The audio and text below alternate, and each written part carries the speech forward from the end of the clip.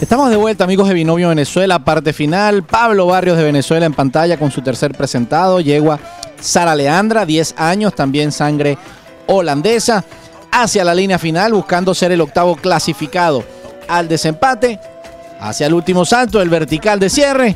Y suma su segundo clasificado, octavo en la prueba, buscando ese liderato en sólido para la serie Hackyard Classic de Lexington, cuando tenemos Scott Kish de Australia en pantalla con el ejemplar viriano, donde va a buscar también su pase a la siguiente ronda, hacia la línea final. Recuerden, son ocho los clasificados, una prueba que inició con 50 competidores y de esta manera suma el noveno que va al resultado final en el desempate. Por último, ya como participante final, Andrew Wells tumbaba con Cinia. Él representa a Estados Unidos en Norteamérica, una yegua de 10 años, también sangre holandesa pero ya con ocho faltas todo se aumentaba su cuenta, no iba a poder tener ningún tipo de chance. Una cancha de verdad complicada que iba a terminar sumando 24 faltas en su presentación y de esta manera terminaba la ronda regular. Se prepara la cancha para lo que va a ser el desempate en este recorrido final, nueve clasificados. Aquí los tenemos en pantalla, quienes son los que van a la siguiente vuelta. Décimo lugar, por cierto, para el venezolano Juan Ortiz. Ya se sienta el público, una prueba que es presentada, recuerden, por Seguros La Vitalicia Vital para ti, que nos trae desde Lexington, estado de Kentucky, este gran premio, 25 mil dólares a repartir. Inicia el desempate con Shane Sweetman de Irlanda, Solerina su ejemplar. Vamos a ver quién se lleva la victoria en el día de hoy.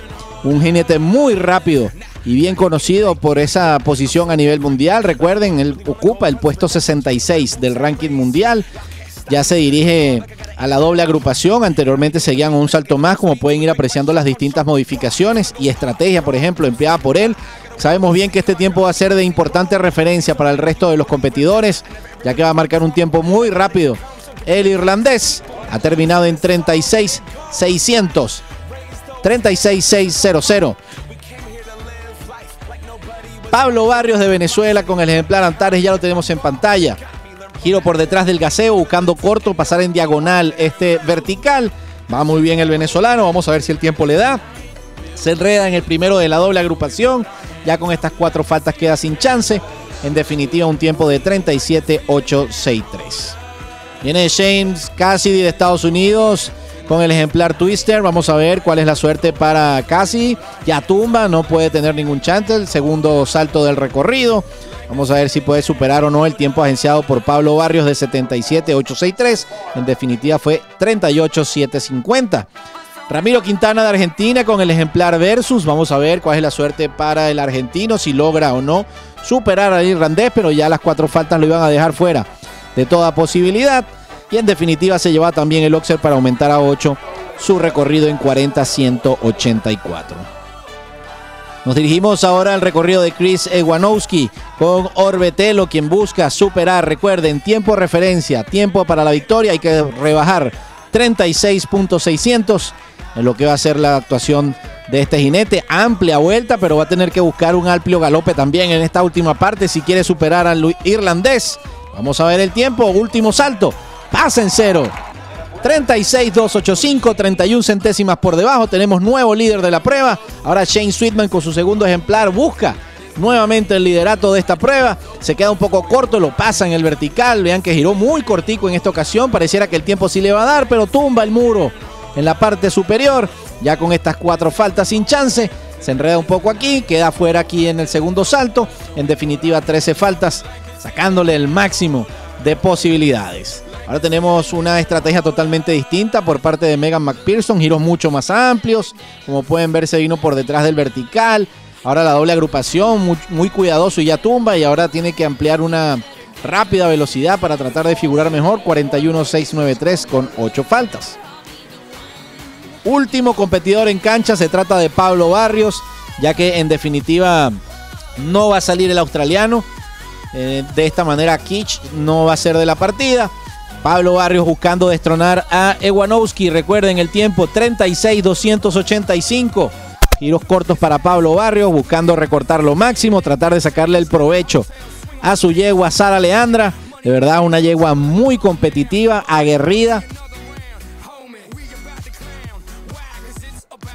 Que busca el último salto.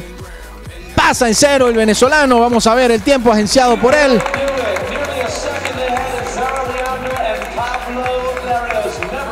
Y así lo anuncia el locutor interno, nuevo líder y ganador de la prueba, el venezolano Pablo Barrios con 35-350. Aquí recibiendo sus premios como ganador. Se sigue extendiendo este récord de la racha Hackyard. Recuerden que ya la ha ganado en dos ocasiones. Son siete competencias a lo largo del año. Suma una victoria más el día de hoy. Todavía quedan varias por hacer. Vamos a estarlas presentando en la vuelta a la victoria. Ya preparando el público a partir, nosotros vamos a repasar la tabla de posiciones encabezada por Venezuela, Pablo Barrios primero y cuarto lugar, mientras que Juan Ortiz en el puesto 10 y Emanuel Andrade en el puesto 15. Bien, amigos de Binomio Venezuela, así concluimos nuestro programa del día de hoy. ¿Y de qué manera? Con esta gran victoria de Pablo Barrios en este premio de 25 mil dólares aquí en Lexington, el estado de Kentucky.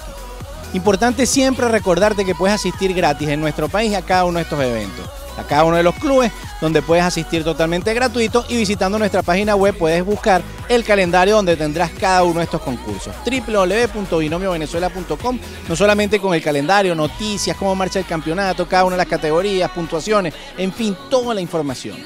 Para noticias como esta, internacionales, actuación de los venezolanos y cada uno de los latinoamericanos que también hacen vida de importancia en el salto ecuestre mundial, puedes visitar www.tumundoecuestre.com. Mi nombre Alejandro Pacheco.